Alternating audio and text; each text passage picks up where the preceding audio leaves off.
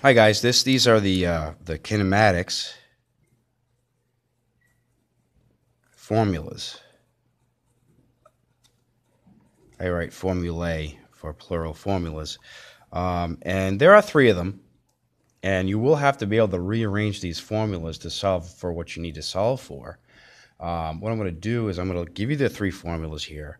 We'll let you uh, write this down in your notebooks. That way you have them and then we uh, we're going to spend a little, quite a bit of time working on these. Um, uh, at this point, you should know what um, what all of the variables mean. Uh, you should know that an acceleration is a change in velocity. Okay, it just means that you're either slowing down or speeding up, uh, or changing direction. Um, so here's the deal.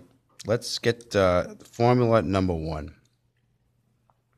Okay, we say that the velocity final is the velocity initial uh, plus the acceleration times the time. Okay, now in this formula, it's um, this formula can be written three different ways. This actually four. This way to solve for VF, you could solve for VO, initial velocity. You could solve for A or T.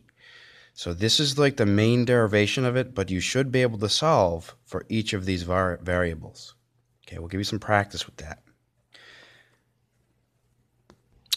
Uh, kinematics formula number two says that the displacement is equal to, in our situations, velocity initial times time plus half a t squared.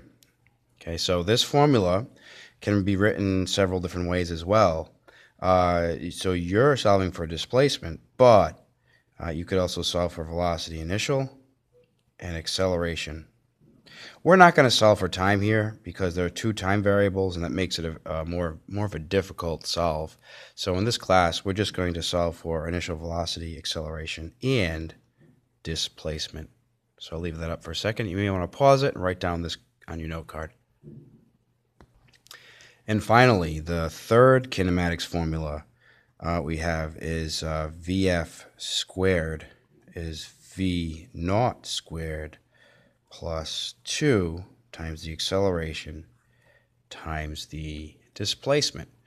So what you've got there is a formula, okay, that um, that, that gives you the square of these. You should be able to solve for this this, and this through this formula. All right, so these are the three major formulas that we have. This will allow us to solve for most, if not all, of the kinematics problems that we have in our in our work. Okay, and we're gonna we're gonna become very familiar with these. So I'll I'll, uh, I'll leave these up for a second. Okay, note card. Okay, this is special. Very special to have this on a note card. You don't want to have to memorize these, although you probably will eventually, uh, just because you're using so, using them so much.